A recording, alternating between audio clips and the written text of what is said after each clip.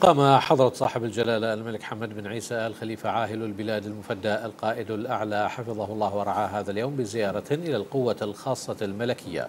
فلدى وصول جلالته كان في الاستقبال معالي المشير الركن الشيخ خليفة بن أحمد آل خليفة القائد العام لقوات دفاع البحرين وقائد القوة الخاصة الملكية وعدد من كبار الضباط.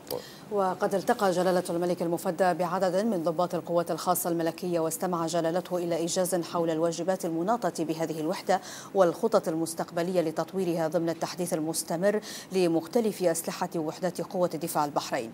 مشيدا جلالته رعاه الله بما يبذله رجال القوة الخاصة الملكية البواسل من جهود وطنية مشرفة وتأهب دائم لإداء الواجبات المناطة بهم بكفاءة عالية وما يتسمون به من جاهزية قتالية ومهارة رفيعة وسرعة الاستجابة لأي واجب يوكل لهم باحترافية فائقة. متكاتفين صفا واحدا مع إخوانهم رجال قوة دفاع البحرين لأداء رسالتهم الوطنية السامية دفاعا عن الوطن ومكتسباته الحضارية وكرامة وأمن مواطنيه معربا جلالته أيده الله عن تقديره واعتزازه بالمشاركة المتواصلة لقوة دفاع البحرين مع أشقائهم من قوات التحالف العربي في عملية إعادة الأمل بقيادة المملكة العربية السعودية الشقيقة لكل ما فيه خير الجمهورية اليمنية الشقيقة والمساهمة في تقديم كل الدعم لعملية الإغاثة الإنسانية لشعبها العزيز.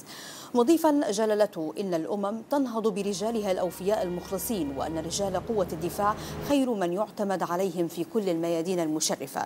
مقدرا جلالته ما يبذله قائد وضباط وضباط صف وأفراد القوة الخاصة الملكية من جهود مثمرة متمنيا للجميع دوام التوفيق والسداد.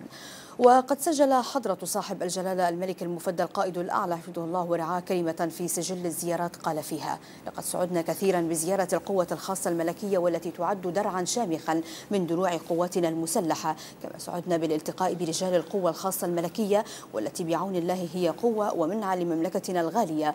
ونحن إذ نعتز ونفخر بما لمسناه من روح معنوية عالية وجهد مخلص لتطوير قدراتهم القتالية والإدارية. نسأل الله لهم دوام التوفيق والسداد.